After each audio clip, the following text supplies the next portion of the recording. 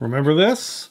I did a first look review of this a few weeks back. It is the James Gurney style easel. This one is made by Taylor Seamount and the time has come. The time has come for a field trial. That means let's go outside and paint.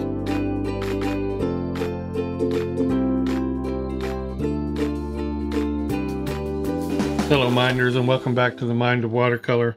So yeah, we're going to get out and paint and give this baby a try. And I just wanted to say a big thanks, both for myself and for Taylor Seamount. Many of you went over after my first look review and ordered this. And I was so proud of my viewers. I mean, I don't get anything for doing this. Uh, I just love being able to recommend good, well-made products. And Taylor Seamount was blown away by the number of you that came over. And she was very complimentary of the Mind of Watercolor community. She said you were a very nice, courteous bunch.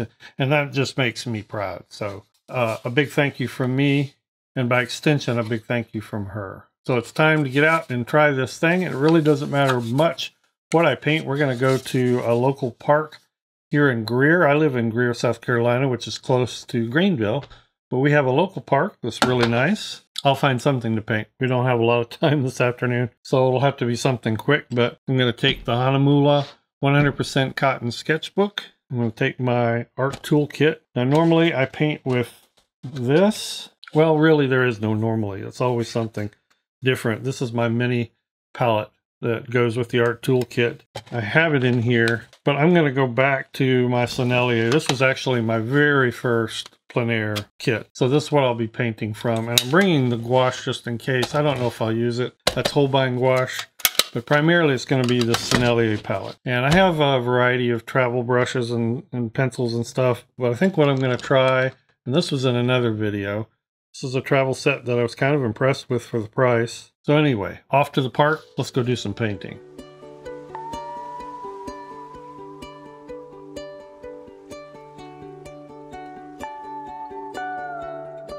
Yeah, well, this is Greer City Park, and it's a great little park. We love it. It's only about five minutes from our house, and they've just done a great job with it. I've actually done some uh, sort of fitness exercise walks around here. We've taken uh, grandkids here to play. I even did a couple of plein air sessions here, oh, maybe five years ago. so that's where I am today.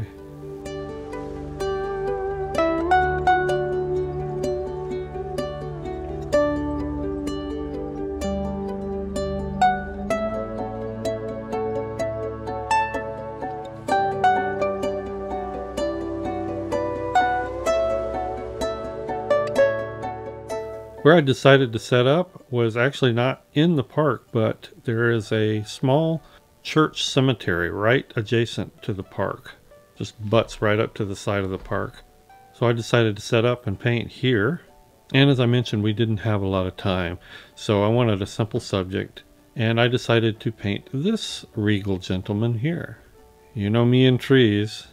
And really the point was I just had to go out and try this easel. I know its effectiveness because of all the James Gurney videos that I've watched, I guess. So I had high expectations, and those expectations were not unmet. Well, I'm joined today by my wife and my grandson. My wife's helping me with the videography. And my grandson, well, he is doing nine-year-old boy things. and this old boy is going to go do his thing.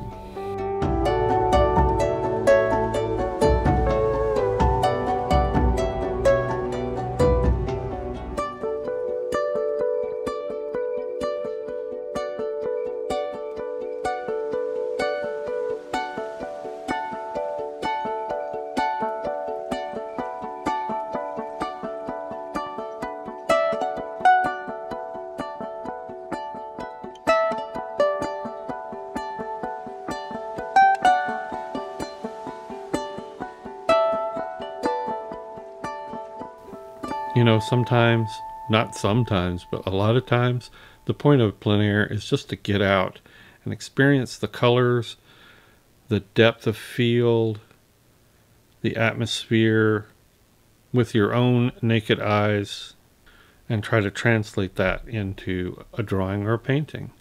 And of course, secondarily, and you can never go wrong here, just being out in nature. It's fantastic, especially on a day like this. About 68 degrees, just excellent.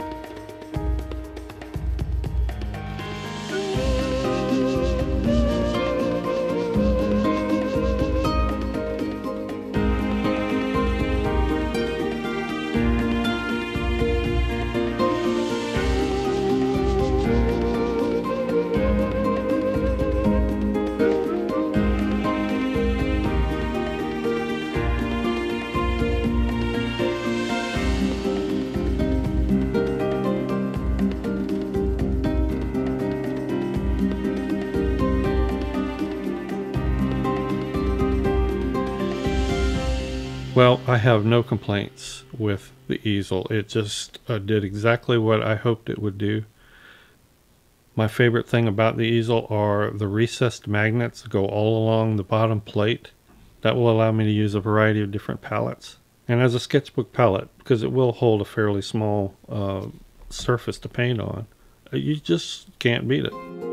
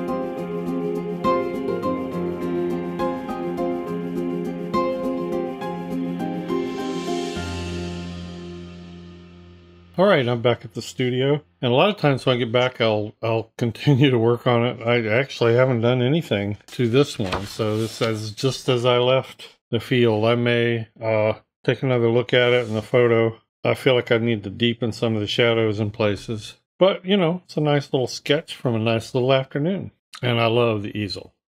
Absolutely love the easel. Thanks everyone for joining me on this little excursion, and here's another one you can watch. See you in the next video. Bye bye.